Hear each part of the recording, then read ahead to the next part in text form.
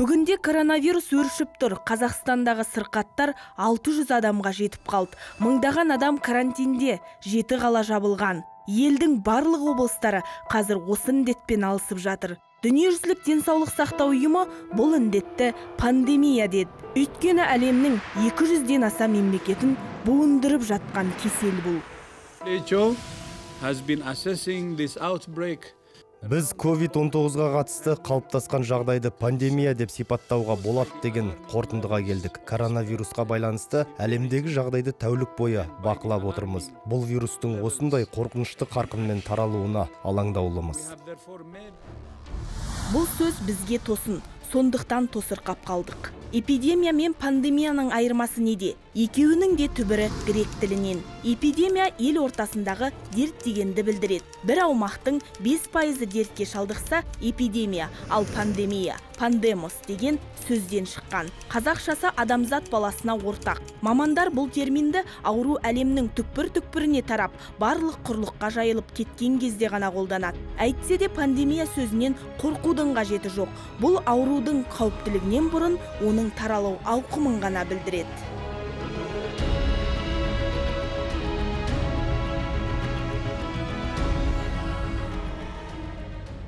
Негізінен адамдар арасында жұқпалы аурулардың 80 пайызы вирус арқылы тарайды. Қалған 10-20 пайызы бактериядан. Вирус деген тірі клеткада ғана өмір сүре алатын инфекциялық агент. Ағзадан тыс жерде өмір сүре алмайды. Олар сілекейлі қабатқа түсіп сол жерде тез көбейеді. Вирус бактериядан мың есе кіші. Бактерия жалғыз клеткалы организм. Адамның ағзасында да тысқарыда өмір сүре алады. Өз бетінше клеткаларға бөлініп көбейе береді. Бактерия көлемі шамамен 0 бүтін 10 мыңнан 5 миллиметрден 0 бүтін мыңнан 3 миллиметрге дейін. Вирус пен бактерияның ағзаға тап болуының сипаты әртүрлі. Клиникалық белгісі түрліше өтеді. Аурудың өршуі де жылдамдығы да басқаша. Зақымдайтын жерлері де тыныс жолдары асқазан ішек жолдары бауыр сияқты алуан түрлі болып келеді.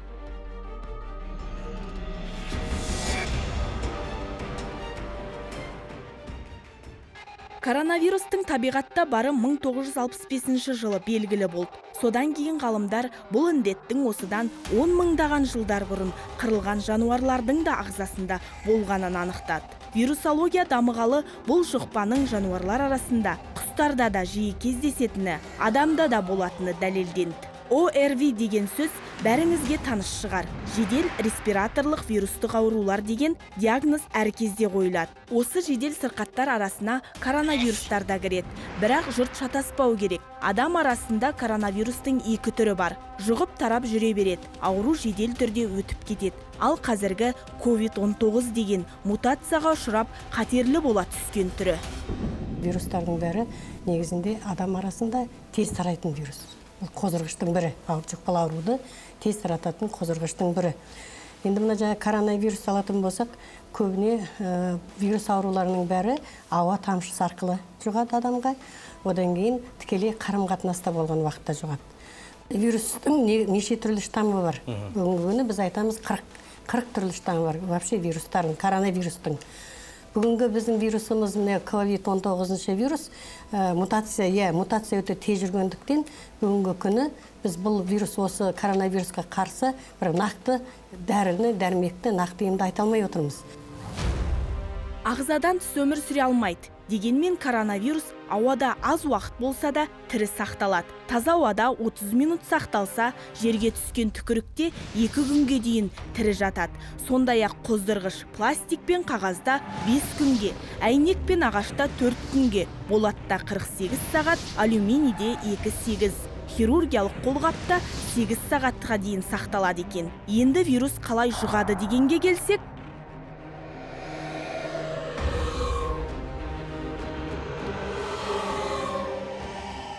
South Shine Morning Post басылымының хабарлауынша хуан провинциясының ғалымдары. Автобуста бір жолаушының тағы жеті адамға вирусты жұқтырған оқиғасын егжей тегжейлі талдады. Бетперде кимеген ер адам өзінен төрт жарым метр қашықтықта отырған ерлі зайыптыларға және бірнеше адамға ауруын жұқтырған. Сонымен қатар барлық адам түсіп қалғаннан кейін 30 минут өткен соң осы автобусқа мінген тағы бір жолаушыға инфекция жұғыпты. Вирус тыныс жолы арқылы ғана емес көзден де өте береді. Беті қолды жиі сабындап жуу ағзаға вирус түскен болса тез жойып жіберуге ықпал етеді.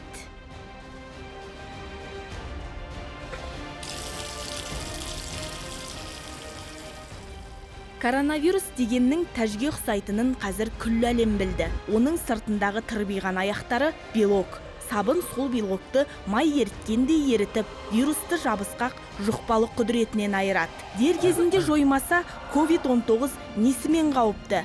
Ағзаға қалай шабуылдайды? Бұл вирус біздің ағзамызға жат. Бұрын мұндай жаумен соғысып көрмеген организм өкпеге түскен жат элементпен соғысу үшін қорғаушы бактерия деген сарбаздарын миллиондап төгеді. Беймәлім вирусты қалай жеңерін түсінбеген бактериялар қырыла береді. Сөйтіп өкпеде ірің пайда болады.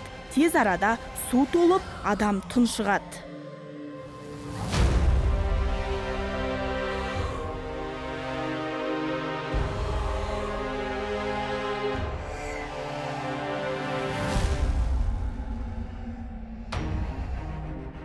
коронавирустың сарс деген түрі 2003 жылы қытайда тарап 800-дей адамның өмірін қиған еді. Ал 2012 жылы сауд арабиясында түйеден шыққан мерс түрінен 8000 адам ауырып 1500-ге жуығы демікпеден көз жұмды. Сол дерт 8 жылдан кейін түрленіп келіп адамзат ортасына ойран салуда. Адамзат баласы адам болғаннан бері өмір бойы микроорганизмдермен микробтармен күресіп келе жатыр.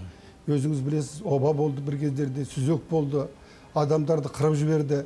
Ол кездерде де өте адамдар қиналды бірақ оның жолын тапты вакцинаны ойлап табу арқылы қазір оба да жоқ өзіңіз білесіз сүзек те жоқ оны жеңіп шықтық кездейсоқ кездескен өзіңіз білесіз мына ковид 19 деген әлем ғалымдарын әлем дәрігерлерін біраз абыржытып тастады осы күні ел арасында әсіресе діндар топтарда жер бетіндегі адамзаттың саны тым көп болып нәпсісі де асқынып кетті. Бір құдірет соларды тәубасына келтіріп жатыр деген пікір жиі айтылады. Бұған коронавируспен қатар адамзат бастан кешкен індеттер тарихының көп жазыла бастағаны түрткі. Бажайлап қарасақ ғасырына бір мәрте адам баласы осындай қыспаққа тап болады екен. Мұны кездейсоқтық дей салуға болар еді. Тек хронологиялық дәлдік алаңдатады.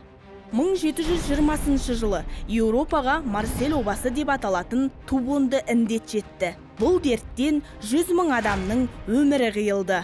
1820 жылы алғашқы тырысқақ эпидемиясы басталды. Ең алғаш азия елдеріне әсер етті. Мәселен филиппин индонезия және таиланд сынды елдер. Дәл осы тырысқақтан шамамен 100 мың адам қайтыс болды. 1920 жыл. Испан пандемиясы. Бұл тұмауды жұқтыру көрсеткіші рекордтық деңгейге жетті. 500 миллион адам жұқтырды. 100 миллионы өлді. Бұл адамзат тарихындағы ең жойқын індет тараған кезең болып саналды. 2020 жыл коронавирус.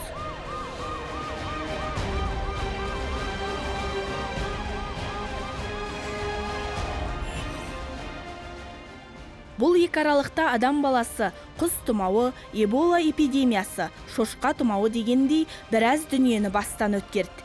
Тек коронавирус бәрінен қорқынышты болып тұр. Ғалымдар тұспалынша тез арада емі табылмаса жаһанның екі жарым миллион адамын осы індет жалмауы мүмкін дейді. Қазірдің өзінде қайтыс болғандар саны алпыс мыңға жетті. Италия испания сияқты елдерде күніне мыңға жуық адам көз жұмады. Марқұмдарды аулақ жерге көміп крематорийге өртеп жатыр. Постановлением я также утвердила алгоритм захоронения тел умерших от коронавирусной инфекции. Коронавирус инфекциясынан қайтыс болғандардың мәйіті туысқандарына берілмейді. Жақындарына қоштасуға 30 минут қана қарастырылған. Оның өзінде 3 метр қашықтықты сақтау қажет. Жерлеу рәсімін бір ғана діни қызметкер өткізеді. Коронавирус құрбандарының сүйектері арнайы полигонға көміледі. На расстоянии не более не менее 3 метров италияда жерлеу рәсімін өткізуге және марқұмдарды ақтық сапарға шығарып салуына тыйым салынды. Жерлеушілер карантинге алынған отбасыларға діни қызметкерлердің марқұмның жаназасын шығарып жатқан сәтін бейне қоңырау шалып көрсетеді. Марқұмдардың барлығы бірдей аурухана киімдерімен жерленіп жатыр. Ирландияда да коронавирустан көз жұмғандарды ашық табытта көмуге тыйым салынады. Израильдің денсаулық сақтау министрлігі коронавирустан демі үзілген науқастардың мәйітін ауруханадан қос қабатты герметикалық полиэтилен қаптамаға орап шығаруды талап етеді. Иран мемлекеті де марқұмдарды ислам белгілеген салт дәстүрлерді сақтамай жер қойнына тапсыруда. Ел билігі коронавирус құрбандарын көму үшін 90 метрлік тереңдікте қазылған қабірлер дайындаған. Ақшта жерлеу рәсімі бейне камераға жазылады. Ал шығарып салу рәсіміне қайтыс болған адамның тек ең жақын туыстары ғана қатыстырылады. Дәл осындай қашықтықтан жерлеу рәсімін жасау ережесін ұлыбританияда қолдана бастады. Украинада марқұммен қоштасуға тек 10 адам қатысады. Ресей билігі болса індет марқұмдарын жабық табыттарда көму қажеттігі туралы қаулы енгізді.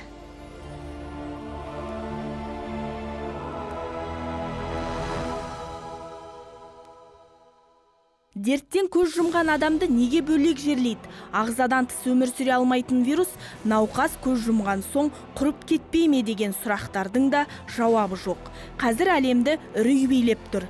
Ес шыққан етек жең жиып сәт сайын құбылған вирустың сырын ашу қиын. Белгілісі бұл аса жұқпалы. Демек оның ошағын жою керек. Қазір індет дендеген елдердің тізімін ақш бастап тұр. Тыныс жолы дерті деген соң мысалға айта кетейік. Жылына туберкулезден 2 миллион адам көз жұмады. Оған әлемде 33 миллион адам шалдыққан. Осы тұрғыдан қарасаң коронавирус аса қатерлі емес секілді. Бірақ оның сұмдығы төтеден тап беріп дені сапсау адамды әп сәтте алып ұратынында. Оның үстіне ем домы да жоқ. Дәл қазір әлем дәрігерлері түрлі препараттарды сынақтан өткізіп белгілі дәрілермен науқастардың иммунитетін көтеріп жанын аман сақтап қалып жатыр.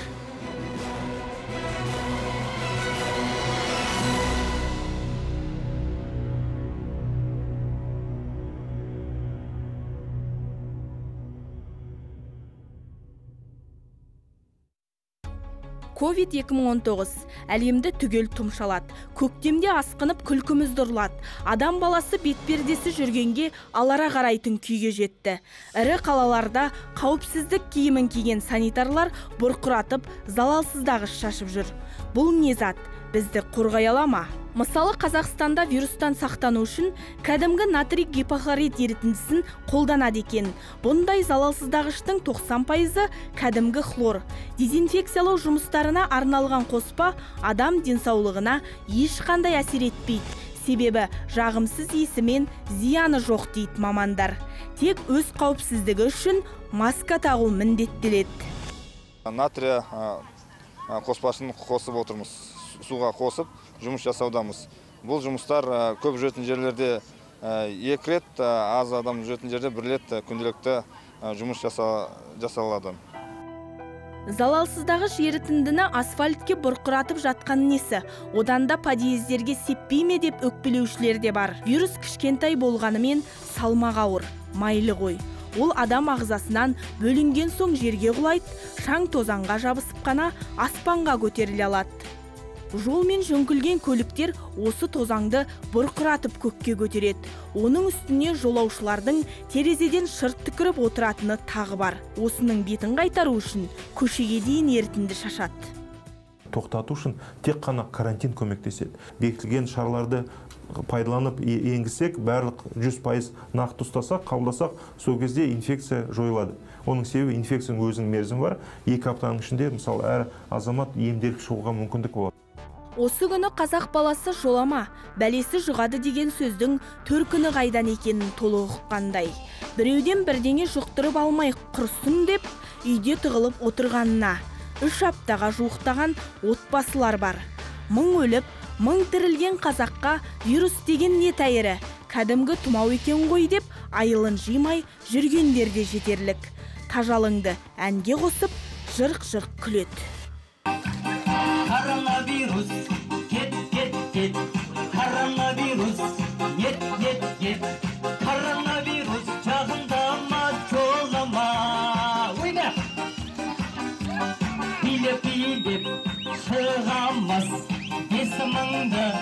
саламыз есіміңді әдемелеп саламыз. Бұл бейқамдықтың ақыры жақсы болсын дегеннен басқа айтарымыз жоқ. Асаба кешірім сұрады түсінік берді осы күні той томалаққа тыйым үлкен сауда орталықтары демалыс орындары театрлар тіпті балалардың ойын алаңдары жабық. Кең даламызда жалаңдап жүрген жалмауызды жеңетін жалғыз жол көзіне түспей үйде отыру екен. Алда жалда жолыға қалсаң бетпердеден қалқаның көзілдірік қолғаптан сауытың болсын дейді мамандар. Бұлардың да сақтап қалуы күмәнді. Вирустың түрлі тосқауылды нір оғындай бұзып өтер қасиеті бар. Осыдан барып бұл дертке қарсы майданда білікті дәрігерлерді қолбасшы етіп тұтас қазақстан жауынгер болып сапқа тұру керектігін түсінеміз. Қолбасшының бұйрығын бұлжытпаған жауынгер жараланбайды. Дұрысы ондай жауынгерді вирус алмайды.